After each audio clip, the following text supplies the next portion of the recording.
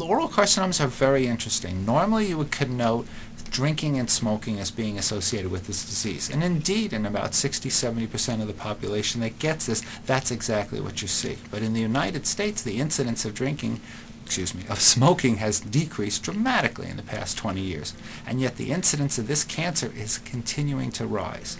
The most rapidly growing group we're detecting in this cancer are younger people who do not drink and do not smoke. What is the underlying cause of this? With this technology, we can uncover it. Is it a virus? And one possible very strong virus is the same virus that causes cervical cancer in women, human papillomavirus. But we already know that there are a group that have it, and then there are a group that don't. So we're going to understand how this disease is, is forming in those individuals, and even more interesting, we're going to be able to figure out ways for each individual cancer, what is the best therapy for eradicating it. What we're trying now is a newer technology. It's a technology based on more advanced types of DNA sequencing that produce 100 times as much data as we could ever produce before. And what we've demonstrated in this is that this technology actually replaces two or three other technologies completely.